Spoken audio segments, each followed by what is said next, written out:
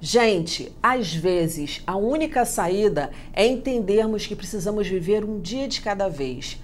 Mas em que circunstâncias isso ocorre? Por que acreditar que essa máxima pode salvar a vida de uma pessoa? Esse é um dos assuntos do programa de hoje. Então prepare-se, está no ar o Educação.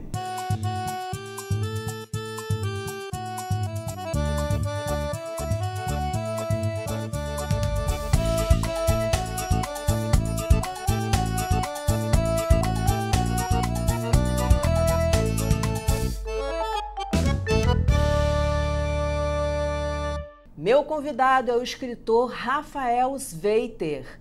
Muito bem-vindo, Rafael. Um prazer falar com você. Obrigado, Daniela, pela oportunidade. O prazer é meu.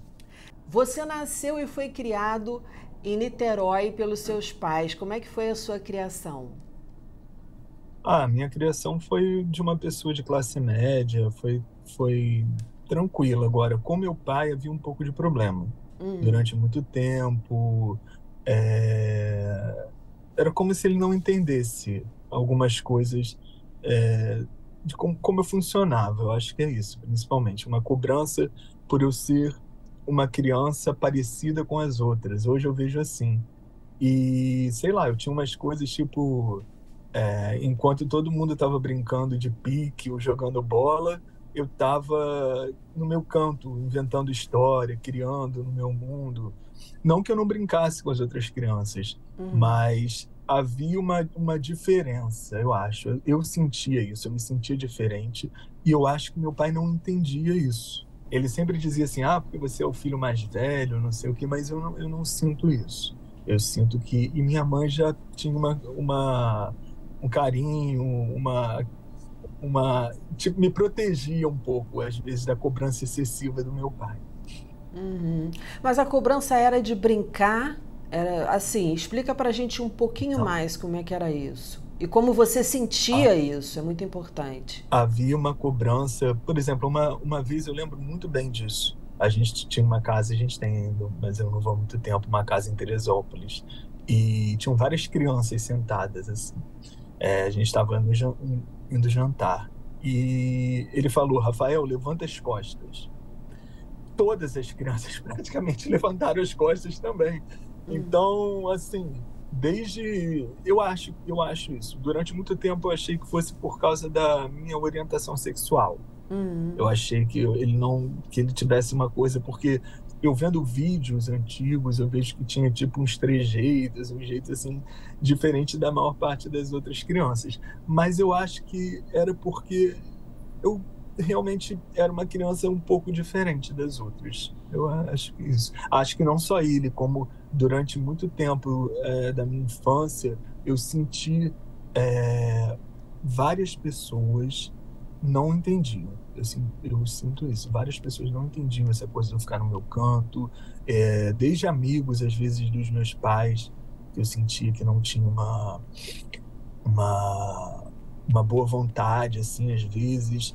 E, e, e, na escola o bullying também, mas eu também tive apoio de alguns professores.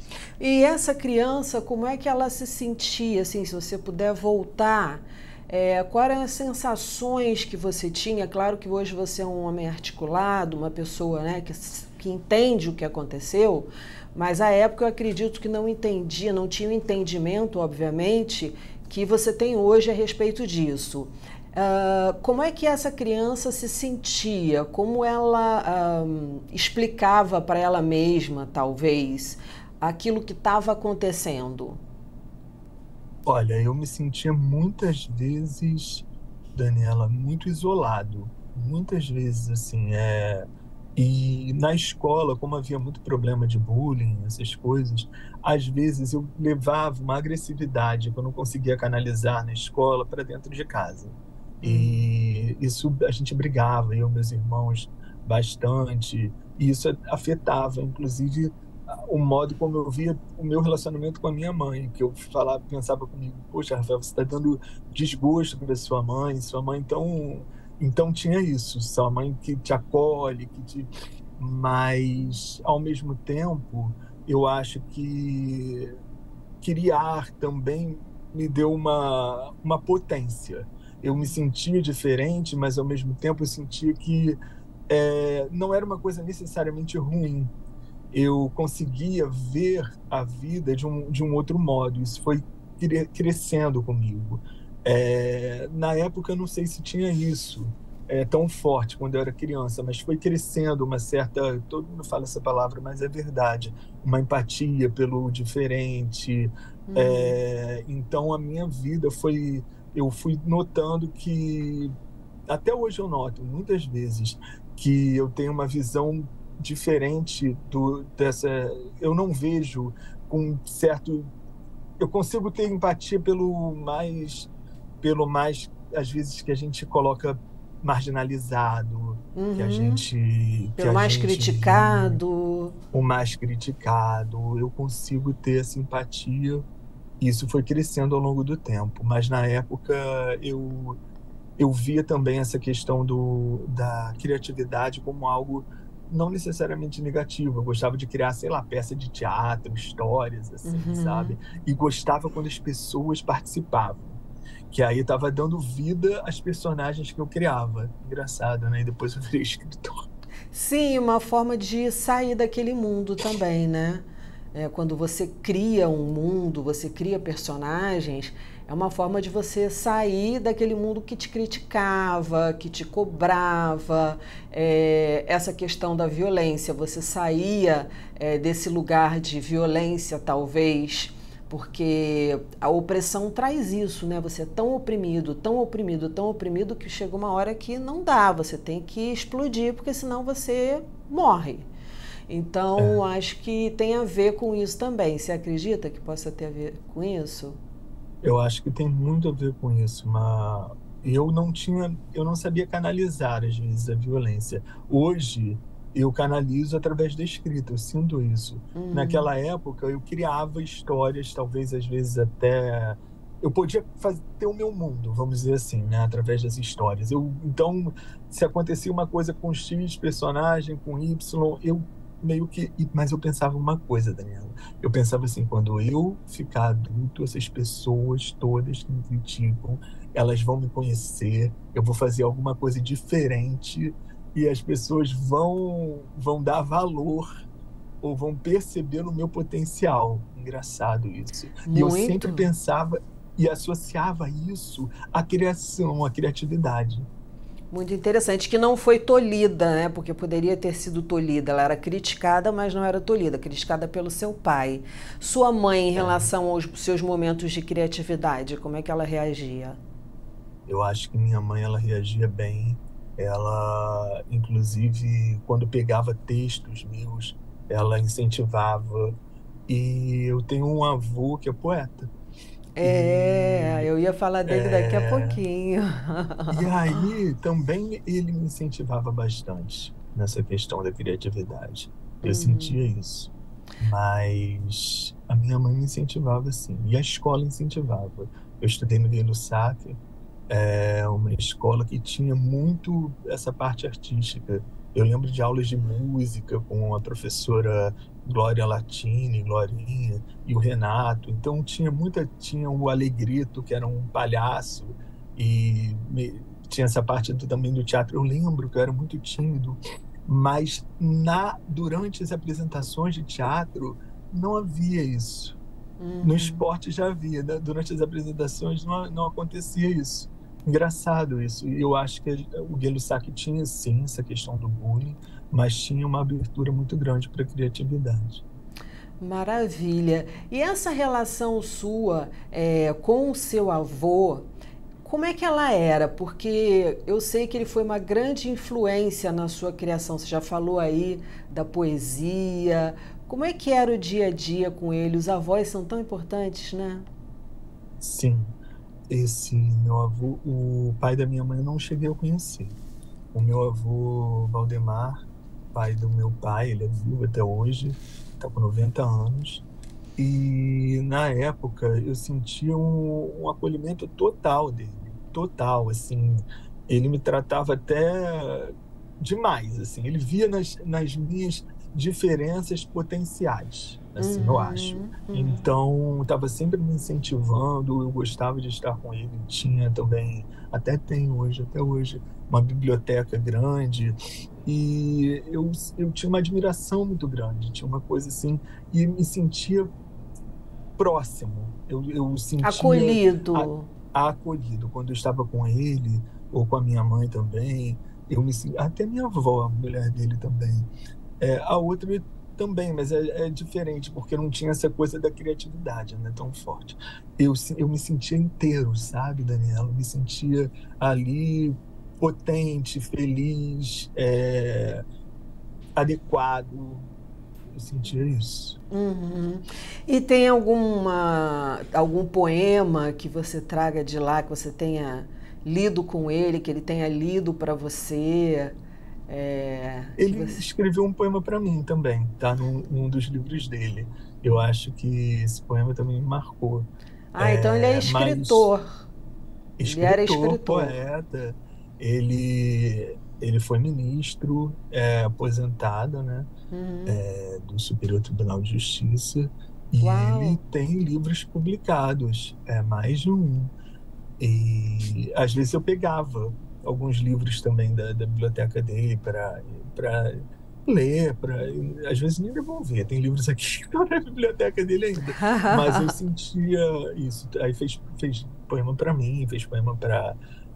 Hoje eu vejo até com, de uma outra forma. Eu vejo os poemas dele voltados para amores, poemas mais. É, que eu vejo até que talvez para minha avó ou para outras pessoas que inspiraram ele, mas na época eu vi um pouco diferente o trabalho dele, mas sempre tive muito orgulho desse, de ter um avô poeta. Como é que você. é, Porque assim, como é que você lê isso aqui que eu vou. essa comparação que eu vou fazer? O seu avô era um homem mais velho, um homem de outro tempo, né? E seu pai, mais novo, obviamente. Como é que você explica o fato de uma pessoa mais velha e, portanto, o que a gente espera que ela seja mais conservadora, muito embora a gente saiba que os avós são mais flexíveis, são mais carinhosos com os netos do que os pais com os filhos?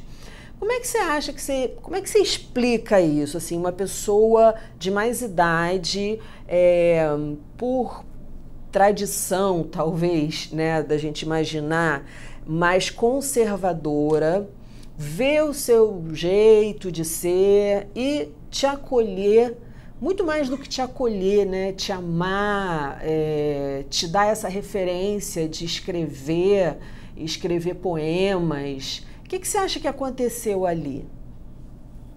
É um amor incondicional. Engraçado que com os meus avós, minha avó também materna, nunca senti cobrança de nada, sempre. Agora com meu avô, eu acho que cada um tem a sua, eu acho que a sua história de vida. Eu acho que isso influencia muito. A gente às vezes vê irmãos diferentes, totalmente diferentes. É, então, e é engraçado que a gente tem a mania de, de enquadrar as pessoas. Então, é da, da família tal, todo mundo é assim, é de tal. E a gente vê, eu acho que são experiências, talvez seja isso. Eu sinto, eu sinto que, eu não sei quais foram as experiências do meu pai, que levaram ele a ser mais um pouco conservador. Hoje em dia está bem diferente. Mas eu acho que é isso. Na escola, você disse que sofreu bullying. Como é que você lidou com essas situações? Foi muito difícil. E foram anos. Anos de bullying. Hum. É, eu, eu me lembro assim, de cenas difíceis mesmo. E eu não, não queria que meus pais soubessem e nem meus irmãos. Mas meus irmãos estudavam comigo e às vezes presenciavam sim. Em um ônibus escolar. essas, é, e era muito ruim. Para mim, o meu. eu Batiam me em você? batiam às vezes sim, é, me xingavam, é, sofri muita violência. Eu sentia, na época mesmo, eu adolescente, criança, eu, eu tinha consciência de que parecia uma tortura, assim, psicológica. Nossa. nossa. É, foram anos assim. E eu muitas vezes não entendia é, o nem do que estavam me chamando, por que estavam fazendo aquilo. E acho que a partir dali que eu ficava, comecei a me isolar um pouco, sentir, é, ficava às vezes no quarto chorando, triste, sem entender, mas é aquilo que eu te falei, quando eu estava com, quando eu podia criar, quando eu podia é, mostrar um pouco do meu potencial, já ficava feliz. Mas na escola foi foi bem difícil, viu? E eu não sei como meus pais não notaram e eu ouvia muito de algumas pessoas na escola que criança é cruel, que, que é assim, mas foi difícil. E, e, você nunca pensou em abandonar a escola, mesmo sofrendo desse jeito? Não. Eu tinha um eu lembro que eu tinha um respeito muito grande pelos professores.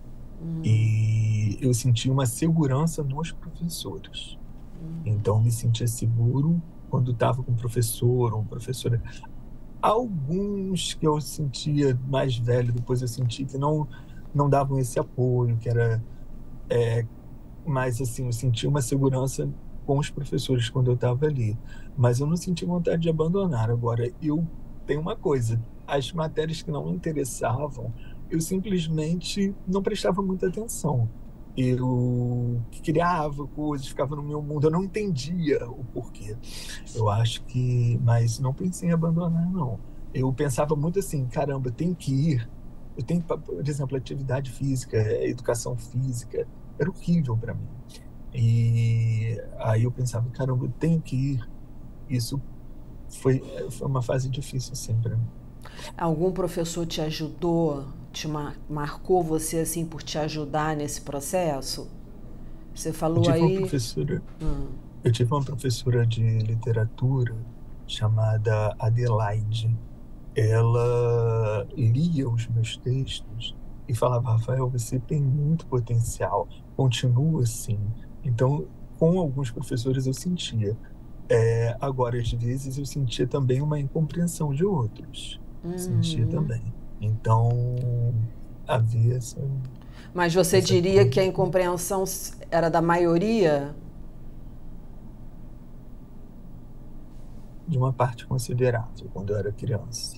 De uma parte é, considerável. Uma parte considerável da minha tem alguma frase da, dessa professora, é, além dessa que você falou, é, que você traz para a tua vida, de algum professor seu que você traz para a tua vida? Porque a gente vai trazendo coisas, né? Tanto boas quanto ruins. E aí, nesse sentido, não no sentido do preconceito, nada disso, ou pode até ser, mas alguma frase assim que te marcou e você falou assim: caramba, isso é para a vida, sabe? Não lembro de uma frase, não, mas eu lembro de, de momentos que professoras é, me incentivavam, me acolhiam. É, eu, me sentia até amado por algumas professoras, amado mesmo, de verdade.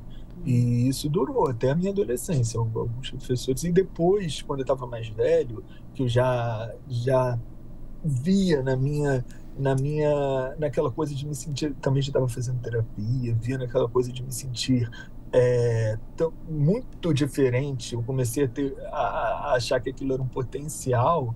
A minha relação foi mudando com os alunos e com os professores. Uau! E você conseguiu achar? Olha você devia ter quantos anos quando você conseguiu achar que era um que aquela diferença na verdade não era uma coisa ruim, era uma coisa boa que podia te levar adiante a fazer coisas incríveis eu acho que eu estava com uns 15 anos por aí, é, quando eu gostei do, do primeiro, da primeira pessoa assim, na escola, era um menino. E aí eu comecei nesse processo, até Rafael, xará. E aí eu comecei nesse processo a perceber que essa diferença não era negativamente, não era assim necessariamente negativa. Uhum. Podia ser uma, um sentimento bom por alguém. E, e foi aí, recíproco? Não foi foi difícil, viu? Mas, mas assim, mas ao mesmo tempo eu comecei a entender os meus sentimentos. A, a, a não que eu não me aceitasse, não era isso, Sim. mas era diferente. E eu comecei a, a sentir é, realmente que tem, tinham coisas que eu tinha que conviver com aquelas coisas e, e não, era, não eram necessariamente ruins. Eu comecei também depois a pesquisar coisas na internet. Hum, olha que legal, isso, que é, interessante. Aí... Quando, quando você consegue é, a, su, a sua identidade, né? identificar algo em você, você não se culpa, você não se desespera, você não quer se enquadrar muito pelo contrário, você tem. Você acha que isso vem de onde? Assim, porque um menino de 15 anos, que a gente escuta a maioria, é não, eu queria me enquadrar, eu tentei, né? Tentei me interessar por meninas, ou vice-versa. Enfim. E, e você não, apesar de não correspondido, é, você sentiu que aquilo era uma potência. Então, de onde você acha que vem isso? Realmente eu não sei. Eu acho que vem talvez das experiências anteriores de começar a ver que o diferente é, não era necessariamente negativo, não era uma coisa ruim. Então, quando como eu comecei, mas eu comecei realmente a, a amadurecer esses sentimentos dentro de mim. Não me lembro de ter de ter tentado fingir interesse por alguma menina. Não me lembro disso. É, incrível, é, incrível como você foi assim é. muito muito sagaz, muito maduro. E aí, e aí o, o, bullying que ainda existia um pouco já não me atingia tanto e eu sentia já é, uma, vamos dizer assim, uma aceitação por parte de alguns alunos. Como é que você vê hoje, Rafael, é, pessoas que ainda é, tem essa dificuldade? Quer dizer, isso está falando aí de quantos anos atrás? Ah, é, foi lá para a década de 1990, o final da década de 96, por aí, 97. Por aí. Uhum, uhum. É, então, tem algum tempo considerável. E é. você tinha 15 anos. Como é que é. você vê pessoas maduras? O é, que, que você acha né, que acontece? Com as pessoas maduras que até hoje não conseguiram lidar bem com isso, não conseguem lidar bem com isso? Eu não sei se tem, eu sinto numa, nos mais jovens uma outra, uma outra pegada. Hum. Eu acho que não estou dizendo que não exista bullying, nada disso. É, mas eu, eu, pelo que eu vejo em série, algumas conversas, eu tenho um irmão que tem 29 anos, então, eu sinto que durante um tempo a gente, tinha, a gente teve uma luta de para ter um lugar ali. Então a gente tinha que denunciar muito a violência. A gente tinha, ainda existe muita, claro, hum. tem que ser denunciada sim. Mas hoje eu sinto que há uma visibilidade maior. Há hum, uma claro, coisa de, claro. não é, um empoderamento maior. Agora eu acho mas tem muita gente ainda que não se assume, que não se assume. Ah, isso não, aí... que não se assume, sim, claro, por uma série de coisas. Isso deve Desde... doer demais, né? Deve, deve doer. É, eu acho que as pessoas mais velhas, assim, da minha, da minha idade, assim, já com 40 anos, 40 e poucos, eu acho que deve ser muito difícil. Deve é. ser muito difícil. Porque calcificou meio que engessa, né? Você não olhar é. numa lente para o mundo, né? As lentes que você olha o mundo já de repente engessaram de alguma forma e a pessoa não consegue mais sair do, daquilo ali. Então eu vejo assim, é, porque eu estou comparando, né? Mesmo a tua trajetória e assim tentando entender um pouco a tua história, porque a gente sabe que a nossa história, como a gente olha o mundo, tem muito a ver com a nossa criação. Mas aí você fala de uma figura que era rígida com você, mas você tinha duas outras figuras é, que te acolhiam, tua mãe e teu pai. Então, é, tua mãe e teu avô. Então, eu acho que isso fez toda a diferença. E aí, vamos, é, eu quero saber porque você foi estagiário no escritório de advocacia, você trabalhou como assessor de imprensa e você se tornou escritor, na verdade. Como é que foi essa trajetória? Olha, minha família, uma parte da minha família paterna é ligada ao direito. Então eu fui lá e tentei mas eu não conseguia. Via meu irmão conseguindo coisas, entendendo. Ele foi começou comigo também, meu irmão Flávio, que é advogado, e aí vi que não era minha praia. Depois aconteceu o seguinte: é, eu troquei para jornalismo. E aí estava trabalhando numa assessoria de imprensa, estava bem, estava na época que eu estava, acho que foi uma época que eu estava tranquilo emocionalmente. Mas houve um caso, sim, que depois é, é, o psiquiatra conversou comigo, entendi melhor. Eu comecei a ficar, como é que eu vou dizer, me senti muito na época, tá? Depois eu vou dar um nome para isso. Eu comecei a me sentir muito agitado, comecei a me sentir um pouco nervoso com algumas pessoas e parecia que, tava, que eu estava perdendo o controle das minhas emoções. De fato, eu estava. Então eu tive que parar. Uhum. Hoje eu tenho um diagnóstico de bipolaridade. Então hoje está tá tranquilo, já tomo estabilizador de humor, tá tudo certinho. Mas naquela época eu estava muito. É, eu não, não sabia e comecei a realmente me sentir com medo dos meus próprios dos meus próprios das sentimentos. das suas ações. Das ações. Mas você não voltou para o jornalismo, para assessoria de imprensa e tal. Você resolveu trilhar a, a carreira de escritor, não é isso? É. Mesmo depois que você conseguiu se estabilizar demorou para me estabilizar, uhum. demorou bastante. É, não foi uma coisa fácil. E aí já isso foi em 2005 por aí quando eu estava quando eu estava na assessoria já. E depois parei realmente. E lá para demorou muito, viu? Não foi fácil me estabilizar. Lá para 2009, quando eu, eu encontrei um sarau, eu estava num local. Eu tinha um, um blog e colocava os poemas lá. E um hoje é meu amigo, que uhum. tem um uhum. sarau é, de. É o João, né? É, o João, João do Corujão. Do Corujão. sarau. Maravilhoso. E... Beijo pro João. Isso. E aí, para você ver que interessante, tinha em Niterói, em São Gonçalo e na Barra. Eu fui parar na Barra da Tijuca. E aí eu levei, levei os meus poemas, comecei a me apresentar, comecei a me sentir. Ali eu vi que tinham pessoas parecidas comigo, que eu estava no meu ambiente. Uhum. E aí senti vontade depois de publicar o livro. Mas, assim, esse processo de me tornar escritor foi muito. É, o livro surgiu, mas, assim, mais do que me tornar escritor, era me sentir inserido na sociedade, Sim. me sentir, sabe, Sim. sem cobranças minhas e dos outros, com pessoas que me entendiam melhor. Isso daí foi muito importante. Ah, imagino. E aí que você começou a buscar o tratamento? Foi aí que você se tocou ou você já estava em tratamento anteriormente? Já tinha tratamento, mas não deu certo. É, por exemplo, teve psiquiatra que, que tinha me diagnosticado com, com depressão, eu, tava, eu tomei antidepressivo, isso não é muito bom quando uhum. a pessoa uhum. tem bipolaridade, isso potencializa. Nossa, é, imagino pelo que você passou. A parte da hipomania.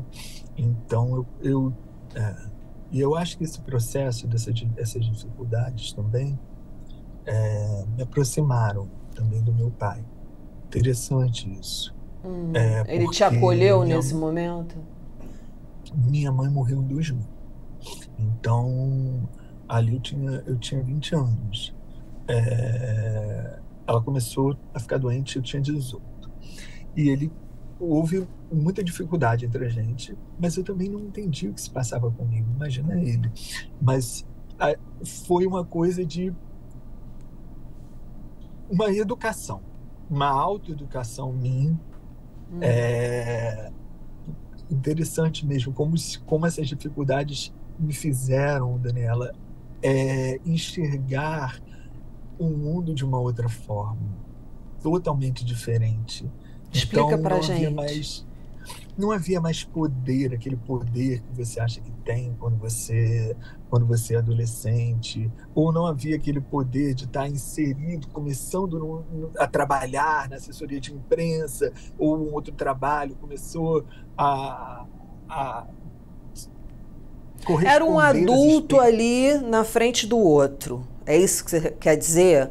Na, nessa questão toda com a sua mãe, né, da doença dela, em relação ao seu pai, ali era um adulto na frente do outro e não mais é, uma criança que queria demonstrar um poder.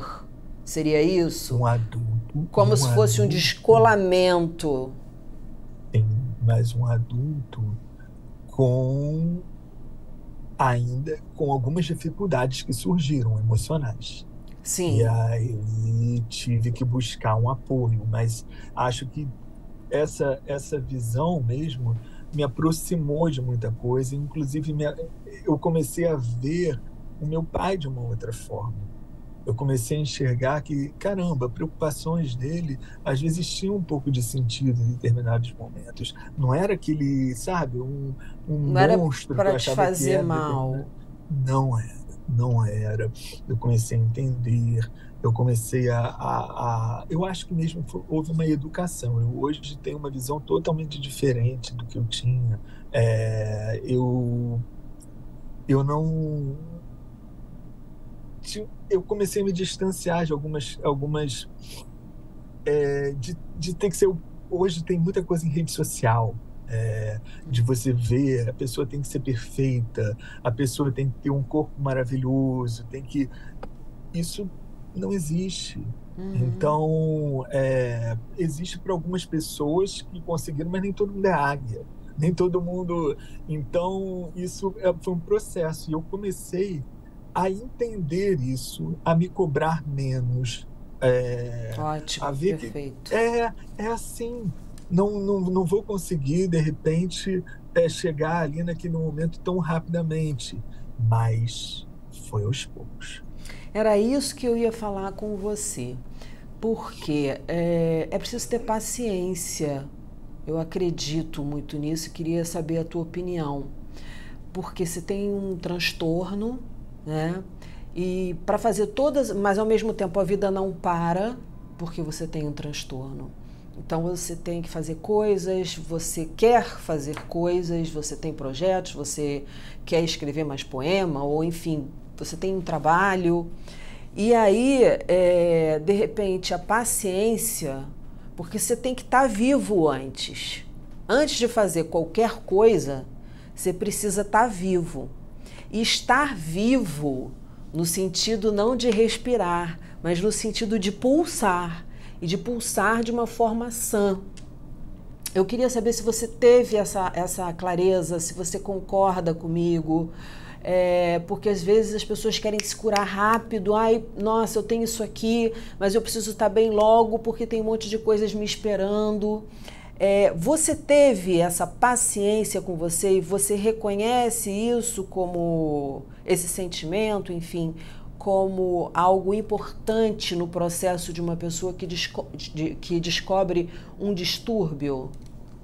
É muito importante. E eu comecei a valorizar isso mais, a entender, a compreender isso mais recentemente, que eu recebi um outro diagnóstico também, que é de autismo, do espectro autista. O, o meu psiquiatra me, me, explicou na época, que tem, tem pouco tempo isso. Eu fiquei assim, caramba, e agora? E ele me explicou, Rafael, você. Isso é uma coisa que eu nem falo muito para as pessoas. Eu estou falando porque é um programa de educação e eu acho que pode muita gente acabar se identificando com, com algumas coisas. Sim. E ele falou, Rafael, você, através desse. E colocou a, a bipolaridade como uma comorbidade. Então ele falou assim, Rafael, a partir desse momento do, do, do que você entende do espectro autista, você não tem responsabilidade sobre muita coisa que aconteceu com você. E aí começa uma cobrança menor. Porque muitas vezes o que acontece no meu caso, eu vejo, eu personalizo muita coisa. Então, isso me, de, me deixou, me criou muita dificuldade. O que, que você Inclusive, quer dizer com fac... personalizar? Eu, é como se eu. Hoje eu entendo um pouco melhor isso, mas assim, um exemplo prático. Estou numa. Agora estou na faculdade de cinema, né? já estou na reta final. Mas Legal. já tranquei faculdade por isso, sabe? Por achar que, ah, é, não consegui apresentação tal, então o professor tal não entendeu, é, e aquilo, sabe uma, e aquilo ali se, é, é, é, comigo, eu não vou conseguir aquilo, ou então tá, tá numa, um assunto ali falando a Daniela, falando com o João do Corujão, aí eu tô ali, já conheço Daniela e João do Corujão, pinto uma terceira pessoa, aí já fico tenso, já fico tenso, não sei o que vou falar, às vezes não, mas uhum. assim, em alguns momentos. Então eu vou. Ou, ou, alguém falou uma coisa que não tem nada a ver necessariamente comigo, e eu já acho que tem. Eu, hoje em dia já consigo ver, porque eu faço um trabalho já com psicólogo há muito tempo esse doutor. Mas olha, eu vou te falar 2013. que muita gente, claro que não estou aqui é, minimizando o seu diagnóstico de forma nenhuma, mas também você não é definido por ele. Né? Tem essa coisa. Claro. Até porque eu, eu fiz mestrado em educação e a minha e a minha pesquisa foi é, inclusão em educação das pessoas com deficiência. Legal. Então, você não é o seu diagnóstico. Você é muito mais do que uma pessoa com autismo, dentro do uhum. espectro autista. É, e é interessante, assim, perceber quando na sua fala, né, você falou, ah, eu trago muita coisa para mim.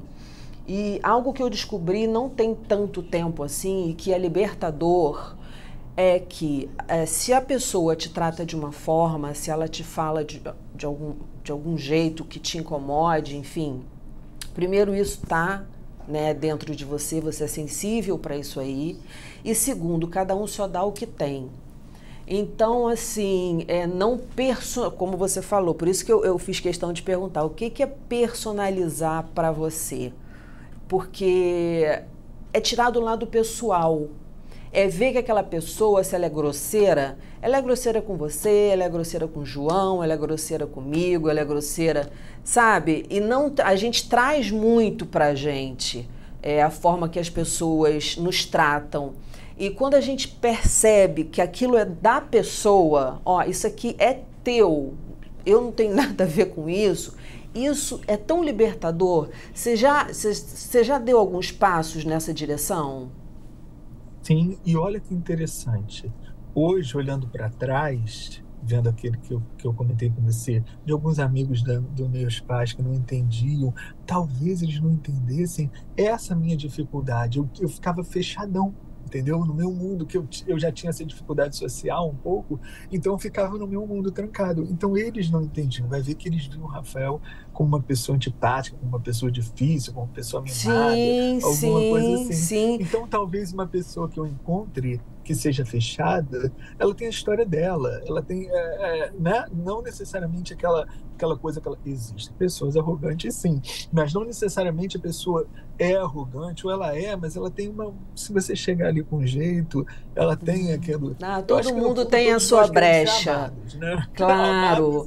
Mas o que você falou é interessante porque às vezes a pessoa mais, mais fechada já aconteceu comigo, assim, de eu estar mais na minha e depois a pessoa me conhecer e falar assim: Nossa, eu achava você super metida, super isso. Falava muito metida, né? Super metida, super isso.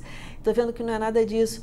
Mas era porque, assim, apesar de eu ser comunicóloga, de eu estar aqui conversando, de eu adorar conversar, nem sempre eu tô assim. E nem em todo lugar eu tô assim.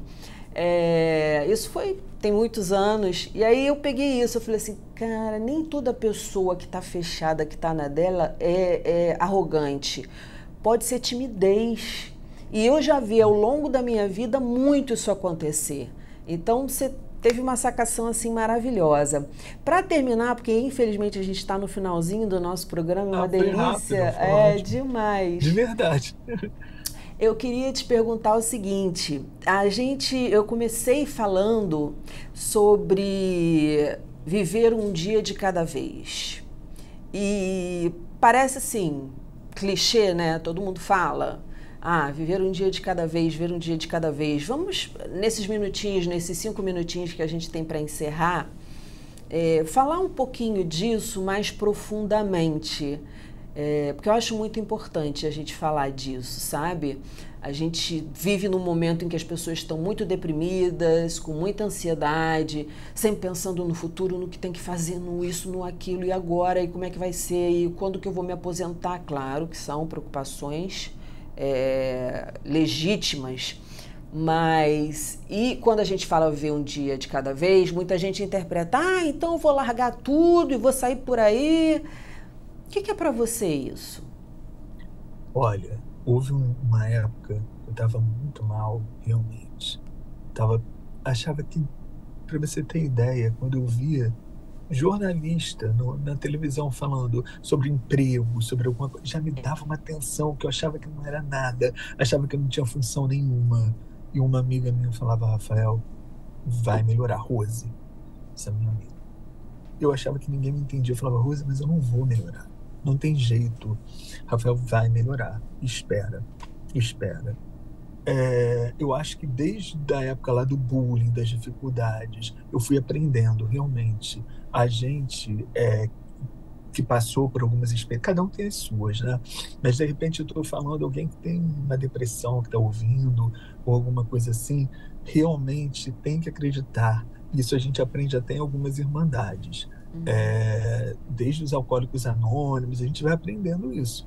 É, é um dia de cada vez realmente. É, não tem aquilo na Bíblia, eu acho, cada dia o seu mal. É, é, é, é, é você entender que você acorda de um jeito um dia, cumpriu com aquilo que você, com as suas metas. Meu psicólogo fala assim, Rafael, coloca cinco metas do dia. Se você conseguir cumprir duas, tá ótimo. Coloca ótimo, ali no final. Ótimo. Agradece por aquilo que você fez no final do dia. Se você conseguiu cumprir as cinco, beleza. Mas se você conseguiu cumprir duas, ótimo. No dia seguinte, mais cinco. E vai fazendo em ordem.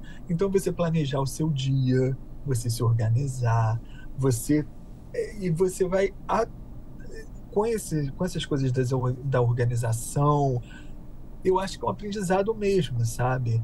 É, para o social. Foi isso que foi acontecendo comigo, um aprendizado para eu lidar melhor socialmente com as pessoas, com as, com as situações que a vida apresenta, mostra. Isso eu acho que é o meu um dia de cada vez, sabe? Que perfeito, que perfeito.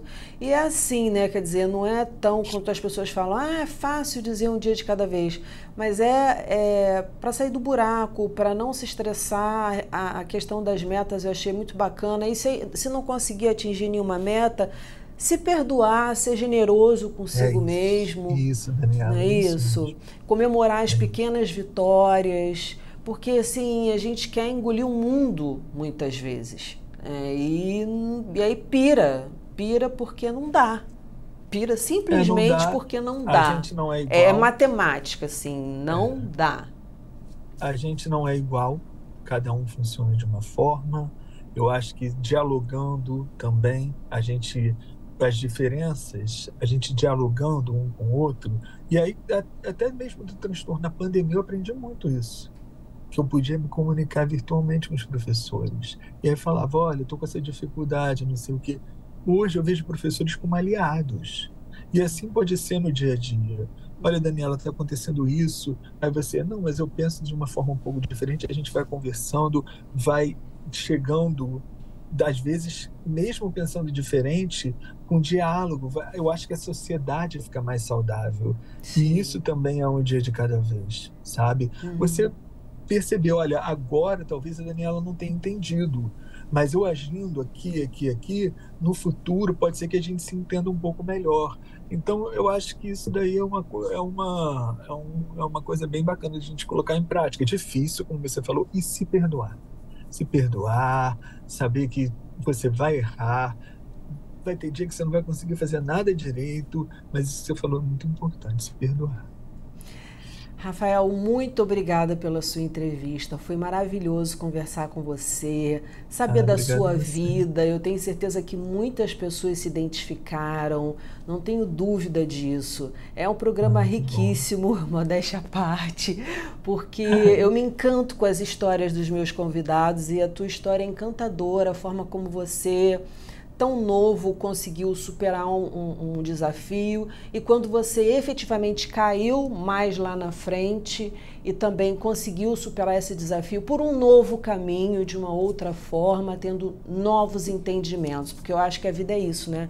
É a gente ir abrindo a nossa visão, porque se ficar assim, não tem como. Muito obrigada Exatamente. mais uma vez. Obrigado Foi um prazer conversar com você. Adorei, obrigado. Me espera aí, que eu vou conversar com a galera de casa e já volto para a gente conversar, tá bom? E para você que ficou com a gente até agora, saúde, dias felizes e até semana que vem, às 9 horas da noite, nos canais 12 da NET 10.2 em sinal aberto. Educação, se você não se envolver, não cola. Saúde, saúde e até lá!